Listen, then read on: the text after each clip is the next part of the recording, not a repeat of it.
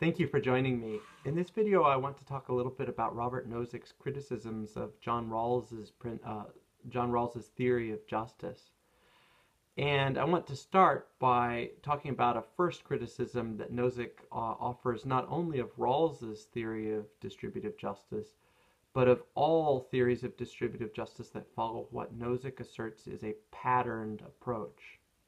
A patterned approach is just an approach that uh, tries to distribute the goods and holdings in society in accordance with a particular criterion, maybe some sort of moral criterion, or maybe a utilitarian criterion, or maybe uh, the criterion of impoverishment. By virtue of impoverishment, your impoverishment, we in our society have decided that you are deserving of a, a monthly check from the government, like a welfare system does.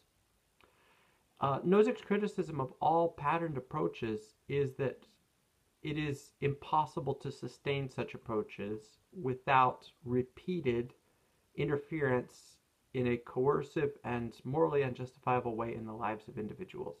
The reason why is because as soon as a patterned approach to distributive justice exerts a pattern and imprints a pattern, be it a moral pattern or a, a, a utilitarian pattern, immediately, unless that pattern is repeatedly applied again and again and again, the individuals who have been the recipients of the pattern of distributive justice are going to go out and make choices that will redistribute their holdings in other ways than the pattern initially stipulated. And he uses this with the famous Wilt Chamberlain example. I'll update that and I'll describe it in terms of the Katy Perry example. Okay, Katy Perry, famous pop singer. Uh, she is someone who's very famous and lots of people love her concerts. Okay, Nozick says, look, you may have issues with people choosing to spend their money at Katy Perry concerts. I think tickets are pretty expensive for these things. I haven't been to one. Nozick says, you may have issues with people choosing to spend their money at these concerts, but in order to stop them from doing that, and in order to make them spend their money elsewhere in accordance with a pattern that you think is more just than them, say, wanting to benefit someone who they feel benefits them. Maybe they find something in Katy Perry's music that they consider to be beautiful or beneficial, or maybe she captures their view of life.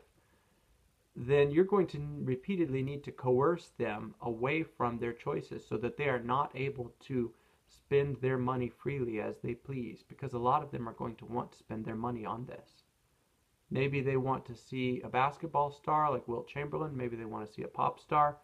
Maybe they want to spend their money on cooking uh, utensils. Maybe they want to spend their money on new clothing.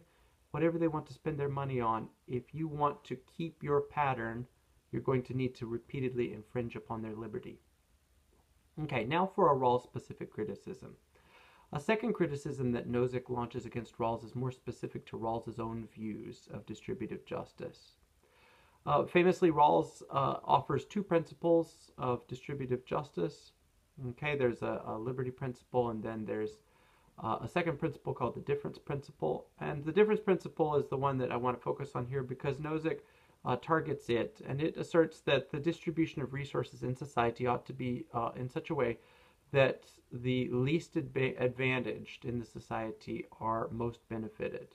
Okay, so however on Rawls's view, however the distribution of resources occurs in society, it ought to be it ought to occur in a way that gives the least advantage the best possible uh, option or the best possible um, path forward in terms of resources, then uh, better than anything that they would otherwise have. Now, notice that this does not mean that everything needs to be equal in society, because perhaps the least advantaged would be better off in a society where the wealthy have more than they do, and the wealthy use that more that they have to invent things, to uh, create greater prosperity for all in society. And by virtue of that, the condition of the least advantaged is improved. Okay, notice that this is not necessarily just a straight up equality uh, principle, although Rawls does often say in his later works, especially, that it would be acceptable to have a society with less overall prosperity if there's greater equality. At any rate, Nozick thinks that the difference principle is outrageous, morally outrageous. it strikes him as outrageous for the least advantaged to say in the course of their cooperation with the most advantaged something like, look, most advantaged, uh, we want to cooperate with you in society, but only on our terms. And our terms are we want to get the most possible stuff that we can get for ourselves at your expense. And Nozick says this is morally outrageous. We can see the outrageousness of it by flipping the example. What if the most advantaged in society, the aristocrats, the incredibly wealthy, what if they said, look, least advantaged, look, impoverished people of the society, we are going to cooperate with you, but only on our terms. And our terms are we want the most that we can possibly have. More under our under this system of cooperation than we could get under any other possible system of cooperation. Now, the latter example of the wealthy dictating terms to the impoverished strikes us as uh, morally outrageous. Nozick says, so should the former. The former example of the impoverished wanting to get the most possible uh, stuff that they could out of the arrangement should be just as outrageous. And the reason why Nozick thinks this is because he thinks that basically the impoverished uh, and the society that is set up so as to coercively redistribute wealth in favor of the impoverished is committing a form of theft.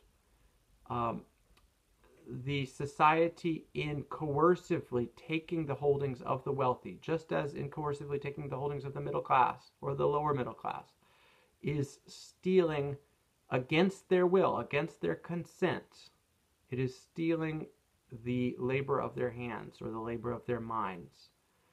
And in not acting in accordance with their consent in its distribution of resources, it is acting unjustly. Any society that does that is acting unjustly. And so Nozick thinks that Rawls's difference principle is an unjust principle of justice by virtue of the fact that it uh, coercively redistributes in accordance with principles that people do not themselves necessarily uh, endorse for the sake of some greater good that the social collective has decided upon. Nozick has a variety of other criticisms of Rawls's uh, theory of distributive justice including most notably why should cooperation create the uh, problem of the distribution of justice. Uh, but these kinds of criticisms, the two that I have mentioned in this video, are perhaps the most prominent of his criticisms.